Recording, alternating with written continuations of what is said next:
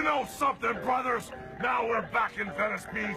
Now we've replaced Jimmy Hart with the head of the war games from Venice Beach, our main man, brother. We're afraid they might not show up. We're afraid we may destroy them all. And now that the Macho Man, brother, What? has came into the dark side, dude, now that he realizes that the training, the prayers, the vitamins, and the commandments are the most important thing, brother. Stick with me all the way, Macho Man. In our hit list, brother, uh, Sullivan, Jimmy Hart, Luger, that stinky, nasty, warden festin giant, and everybody will fall by the wayside, dude.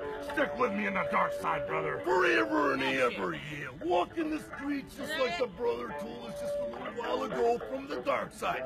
But, Hulkster, how much more do you need to sacrifice? Sullivan took your mustache, Jimmy Hart ripped you between the seams with the red and yellow, the giant took the world belt, and Lex Luger put you in the rack. Don't you understand what I he's been you, saying? You right. told us that. Did Now, what needs to be done is this. Divide and conquer. You're too emotionally involved with the situation.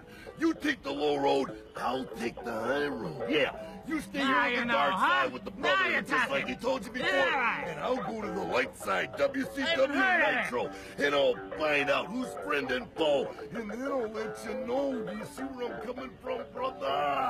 You find out who's friend and foe You're not gonna in the light, brother, friend and foe, me and the brother, the head of war that? crimes, we'll stay in the dark side. We'll stay here, brother, and we'll take care of business, dude. And now that I get the stench Now you're of talking. I heard that. back in my blood, brother. You want to see that What you right gonna do All when right. the dark side of Hulkamania destroys you? Oh, yeah!